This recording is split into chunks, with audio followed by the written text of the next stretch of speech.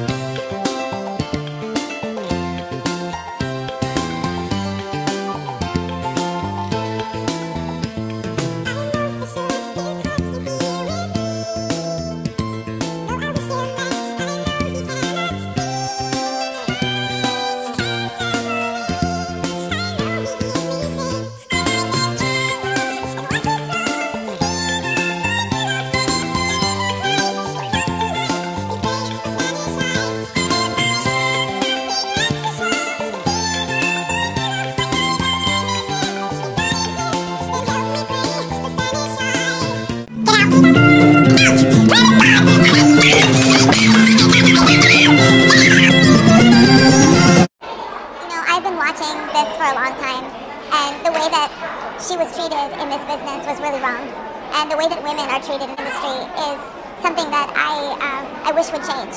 I think that she will forever be an inspiration to women and to people all over the world. I watched her as a young girl and I still watch her now. She is she's wildly talented. She is incredibly inspirational. She worked hard for this moment and I hope she feels that.